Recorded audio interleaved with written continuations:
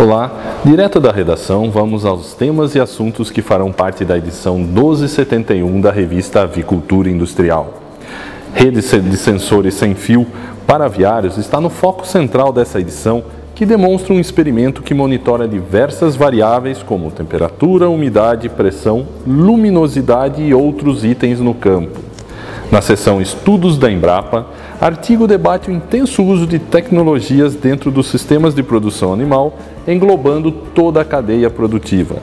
Matéria especial retrata as adequações dos produtores à Instrução Normativa número 8/2017, que trata de normas de biosseguridade, principalmente com relação ao telamento de aviários em todo o país. Artigo debate as alternativas aos antimicrobianos utilizados como aditivos melhoradores de desempenho e o uso prudente desses antimicrobianos na avicultura. Matéria especial retrata a questão da proliferação e controle de moscas dentro das granjas, um dos principais vetores de enfermidades para as aves.